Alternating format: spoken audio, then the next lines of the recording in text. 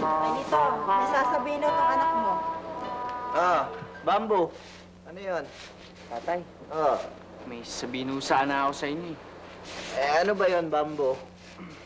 Eh, magpapatuli ho sana ako ngayon. Magpapatuli? Eh, ayaw nga pala, no? Araw ng binyagan ngayon dyan sa ah, tabing ilog. Ay, teka nga, matanong kita. Bakit mo naman naisipang magpatuli ng bigla-bigla? Eh, natatakot ho. Baka hindi po ako mag-aanak eh.